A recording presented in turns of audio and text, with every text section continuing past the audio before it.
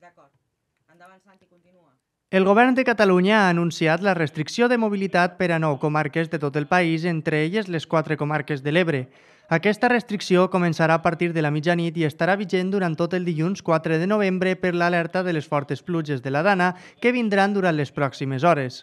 La consellera d'Interior i Seguretat Pública, Núria Parlon, també ha anunciat que se suspendran les classes i la universitat i ha recomanat fer ús del teletreball. A més, Protecció Civil tornarà a enviar una nova alerta als telèfons mòbils de les persones en aquestes zones per informar-les de les restriccions.